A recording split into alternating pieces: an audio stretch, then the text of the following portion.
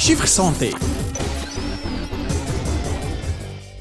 في Chiffre Santé قدموا لكم أهم الدراسات الطبية والعلمية في تونس ومش نكمل. تقديم الارقام في الدراسه اللي قام بها المعهد الوطني للصحة بالتعاون مع الجمعية التونسية لطب الإدمان اللي شملت دراسة ميدانية 6300 تلميذ وتلميذة عمرهم بين 16 و 18 سنة. والمرة ذي أثبتت لنا الدراسة ظهور أنواع جديدة للمخدرات والإدمان عليه في سنوات 2016 2017 كانت تلامذة يستهلكوا الاكستازي كمادة مخدرة وانضافت خلال هذه السنة مواد أخرى لم تمنحهم المخابر أحقية الاستهلاك بينما تلامذتنا يستهلكوها. وانتقل إدمان تلامذتنا على المواد المخدرة من 0.2%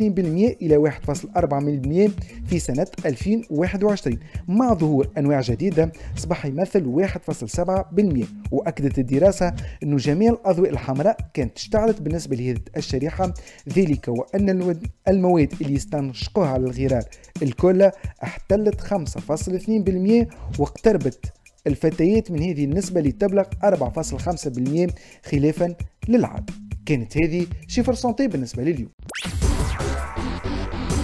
شفر سنتي